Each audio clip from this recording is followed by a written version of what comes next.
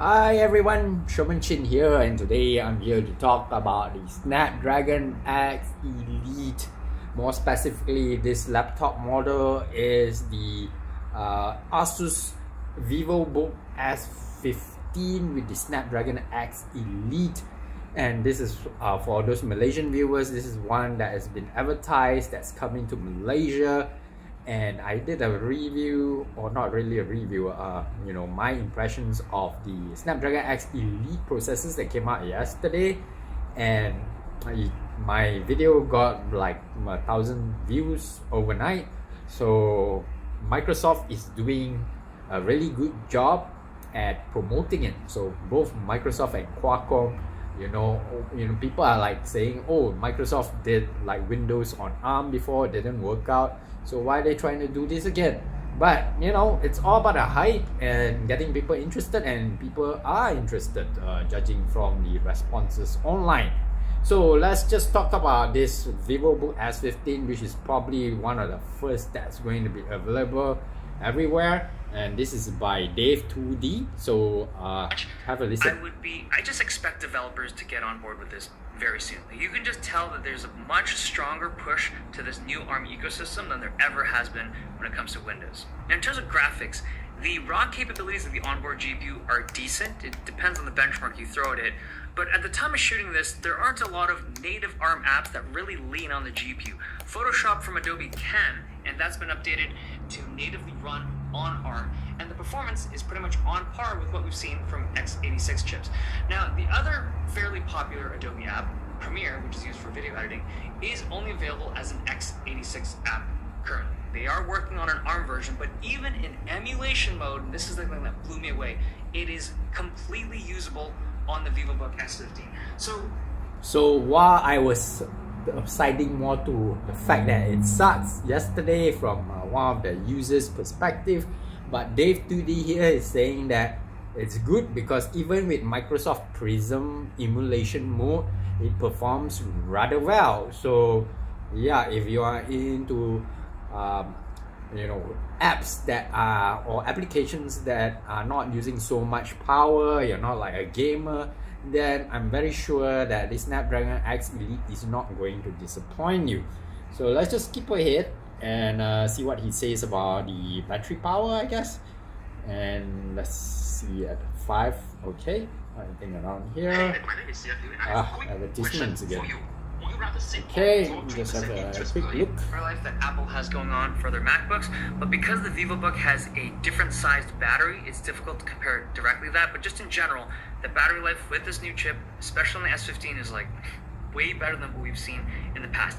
The other thing is sleep. So typically, when it comes to Windows laptops and you put them to sleep, it's very common for batteries to continue to drain even when the device is supposed to be asleep. But on this new Snapdragon X Elite chip, I saw 2%, sometimes just 1% battery drain overnight, which is just the way that battery. Yeah, so battery performance seemed to be good. Although yesterday, uh, the person who reviewed it said it wasn't good, but it only became good after some updates. So the fact that uh, Dave 2D has tested it and seems to be working, so that's a good thing. And let's have a look at uh, this S15 this VivoBook S15 in particular. 86 laptop right now for this kind of pricing. So this is a 12.99 machine. You get 16 gigs of RAM it is baked on boards you can't upgrade that we also get one terabyte of storage that is readily upgradable because you have full access to the internals uh, and also you get an amazing selection of ports like on a device of this caliber you don't expect ports like this. So you get two USB A, two USB C, uh, HDMI, micro SD, and it's just like such a solid overall system. And then the keyboard. So this keyboard, I do like the way that the keyboard types. I'm pretty fast on it, and you get a number pad on the right. It's a narrow one, but you do get. So if you guys are looking for a good computer that can rival the MacBook, then I would suggest this computer because it has uh, the laptop is great. Um, it has a numpad right? A full numpad. You can play games on it, but obviously this is the Snapdragon X Elite. You're gonna play most of the games in emulation mode. Uh, it's still not bad. And also the fact that you cannot upgrade the RAM because it's soldered in, but you can still upgrade the SSD. So yeah, totally up to you guys uh, whether you would go for something like this. But I think Asus has done a good job.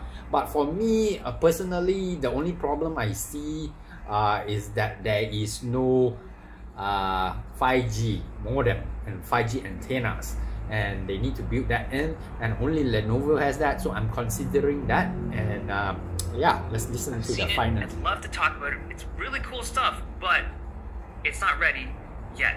That'll be a future video. But just based on the merits of the hardware alone and what this chip is capable of, I really think these new chips and the S15 are something special. Okay, hope you guys enjoyed. Okay, so Dave 2D thinks it's something special. The only problem is Windows uh, Copilot Plus with the recall feature and uh, live caption features are not available yet. It's going to come out soon in the update. Uh, Microsoft made a big deal of recall, but then it became a security issue, and Apple is focusing more on the security on having uh, AI just on a device. So Microsoft is losing out here and uh, by uh, the fact that a lot of people are complaining that it's not secure with Microsoft and they're trying to add encryption and stuff. But I think the damage is already done, uh, especially branding wise when you portray yourself as not being secure and people want to jump to Linux on Snapdragon X Elite. That's very bad from Microsoft. But for me, I still do trust Microsoft. I still do trust the x86 platform uh, by Intel. So I might uh, be waiting for a Lunar Lake before upgrading. But I'll see about the 5G because the thing with the Snapdragon X Elite is that it has a 5G modem baked in. It's just that most of these laptops are not using this feature. But for me, I think it's one of the uh, important features that I think it's important because um, you know I have my SIM card on my phone right now. Imagine I can put it into the laptop and uh, I can use my laptop like a phone since I seldom make voice calls anyway. I'm more a texting person. So imagine that and that's something I look forward to and I'll let you guys know if uh, I do buy a laptop like that. So if you like content like this, please do subscribe and give me a thumbs up click that notifications bell and before I go I'm going to show you guys the uh, Kaiser Beyond knife that I got from Thomas Tools. And Thomas Tools uh, basically is giving you 5% off with my discount code Sherman Chin. And I get something out of that so you help me as well. So thank you so much guys. I'll see you in the next one. Take care now. Bye